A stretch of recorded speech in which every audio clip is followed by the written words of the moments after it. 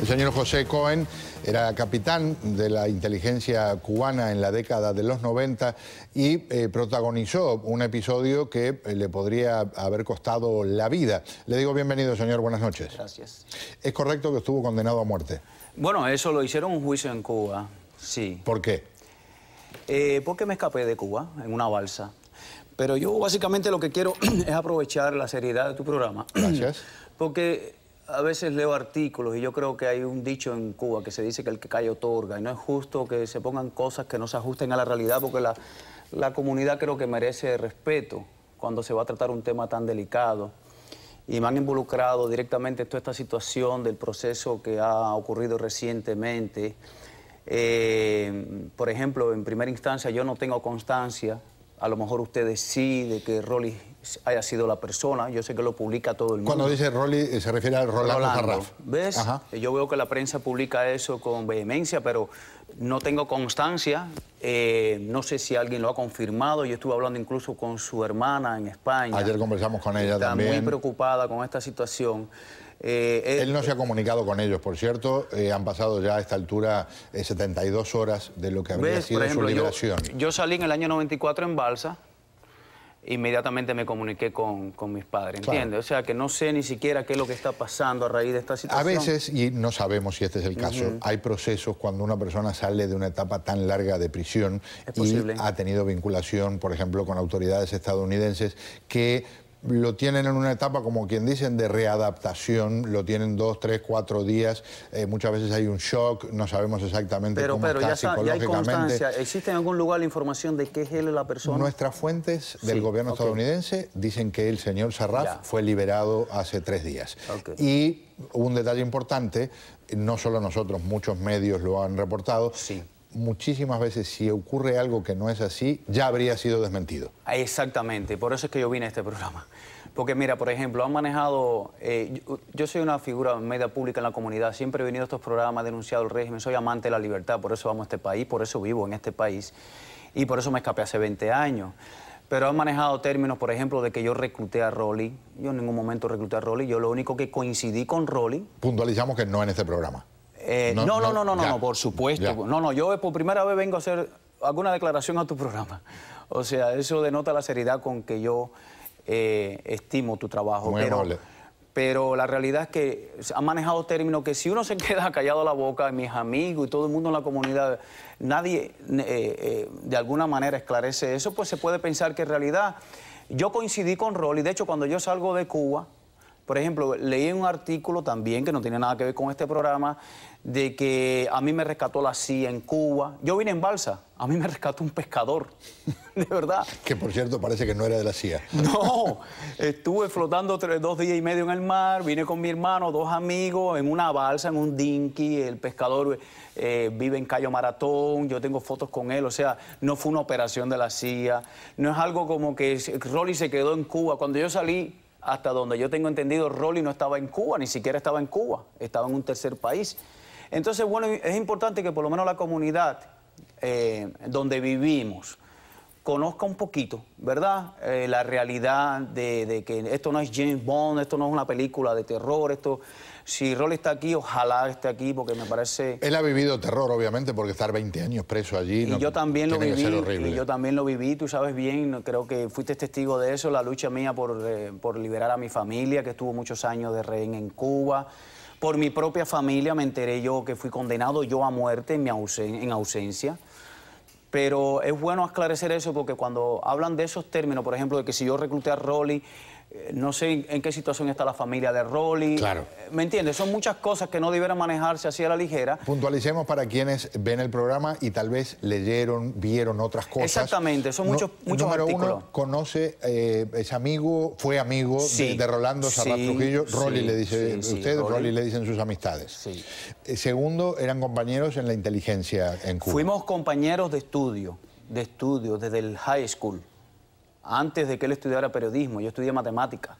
Pero después, en los servicios de inteligencia. En los servicios yo trabajé en un departamento que es el departamento eh, M6 y M1, eso también es público. Y eso, en ese departamento... No tiene nada que ver con Rolly. ¿En qué se trabaja en ese departamento? Porque en él trabajaba... era el espionaje industrial, eso lo he hablado en otros programas. Y, él trabajaba en criptografía, si no me equivoco. Eh, criptología no tiene nada que ver con el departamento de inteligencia. Claro, pero digo, es, otra área en la que descifran Eso son o, cosas que cifran mensajes. eso son cosas que dice la prensa pero que yo no tengo constancia. Ya. En, Cuba y en cualquier departamento, en cualquier eh, entidad de esta naturaleza, hay un trabajo compartimentado. Por ejemplo, yo estudié criptología, yo lo puedo decir, yo, yo, fui, yo estudié criptología. Eh, pero, no, pero no era lo que usted desarrollaba en su tarea de Bueno, en un tiempo sí, También. en un tiempo sí, claro. Eh, pero Rolly estudió periodismo, hasta donde yo sé. Entonces, si se manejan términos así un poco... Puede ser que la confusión haya surgido de que le adjudican la parte de la criptología al señor no sé, cuando usted fue el que estudió eso. Yo creo que en algún momento ustedes podrán tener toda la información en algún momento si eso es así, ustedes van a investigar bien. Falta mucho por recorrer. Yo vengo, sí, yo vengo básicamente no puedo hablar de Rolly, no sé. Yo ya, imagínate que yo salí de Cuba y no vi a Rolly. Claro. Cuando usted sale de Cuba, me dice usted, él no estaba ni en Cuba ni en Estados Unidos. Exactamente. Me dice un tercer país. Exactamente. Eh, ¿Puede mencionar el tercer país o...? No, yo prefiero que eso lo maneje él cuando pueda... Muy bien. Si él está aquí. Segundo, em, le, eh, cuando detienen al señor eh, Sarraf, no le puedo decir Rolly porque no tengo la confianza con él. Sí, cómo no, cómo no. pero cuando lo detienen, usted ya está en Estados Unidos. Claro, dos años después. Claro. No fue una, acción inmediata, yo me enteré por mi propia familia. Su hijo tiene la edad del mío. Ya, porque una, la versión que usted sabe muy bien corrió como reguero de pólvora es lo atrapan a él y usted logra escapar. No. Y en realidad usted escapa, pero escapa por su cuenta. No tiene nada que ver, me está diciendo, con el proceso que ocurrió con a el señor eso me quiero referir, a eso me quiero referir. Yo creo que la comunidad debe estar claro, por lo menos el punto de vista mío claro y que usted sea la persona que lo reporte, porque en realidad eh, él, fue detenido como el año 90 y pico y yo me salí en el año, el año 94. No fue una cosa inmediata, no fue una cosa automática. Entonces, si yo, por lo menos, no neutralizo lo que escribe la prensa, claro. pues se puede haber rumores, puede haber... Eh, yo sí te puedo hablar, y para terminar de este, este segmento, este tema, es que de lo que yo conozco de Rolly, lo que yo conozco del amigo mío de infancia, es que era martiano, era un profundo estudioso de las obras de Martí, era una persona sumamente patriota, amante de la libertad, y nos tocó vivir ese proceso en Cuba, que yo creo que no fuimos los únicos, y desgraciadamente él le ha tocado sufrir, y ojalá que él sea así una de las personas que haya podido ser negociado, liberado, como quiera llamarle. Pero quiero esclarecer eso y yo creo que la comunidad me va a agradecer que yo venga y te haga esta, esta referencia. Me parece muy bien. Le agradezco eh, la cortesía de venir a hacerlo aquí en nuestro programa. no? Y en la medida que surjan novedades, y Dios quiera que un día podamos hablar con el señor Sarraf, me encantaría que pueda estar presente para saludar a su amigo. Con gusto, ojalá que sea así, ojalá que sea confirmado eso. ¿Está bien? Muy, pero muy bien, señor. Muchas gracias, muy amable. No se me vaya, tengo que compartir otro par de cositas con los televidentes. Eh, y una tiene que ver con lo que dijo el presidente Barack Obama, porque existía una versión de que el presidente de los Estados Unidos estaba pensando visitar pronto Cuba. Hoy él lo desmintió.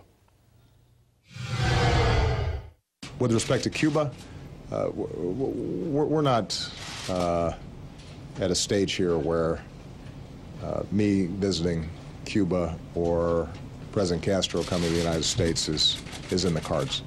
Um, I don't know how this uh, relationship will develop over the next uh, several years. Um, I'm a fairly young man, so I imagine that at some point in my life I will have the opportunity to visit Cuba and uh, enjoy interacting with the Cuban people. Uh, but there's nothing specific where we're trying to target uh, uh, some sort of visit uh, on my part. El presidente puntualiza eso. Dijo algunas cosas muy interesantes sobre otros temas de los que hablaremos en un instante y más adelante vamos a hablar de lo que sabemos sobre el hundimiento o como mínimo el haber volteado a una lancha que tenía una treintena de personas tratando de escapar de Cuba, algo que surgió como noticia hace unas pocas horas, pero que ocurrió hace tres días. Y esto significa que ocurrió antes que el presidente Obama hiciera el anuncio de lo que hoy sabemos es un cambio dramático de la política hacia eh, Cuba. Por cierto, hablando de eso, en Cuba, entre los temas que están hablando en las calles es lo que creen es será una explosión del mercado de la vivienda.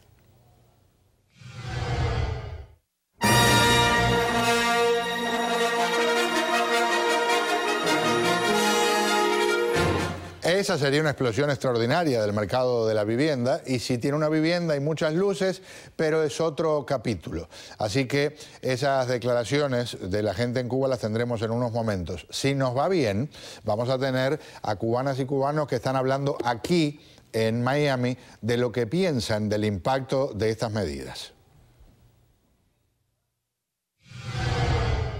Sería un beneficio para los dos países una embajada en Cuba y una aquí. Así ya se acaba de abrir todo el bloqueo, el supuesto bloqueo que se dice que hay.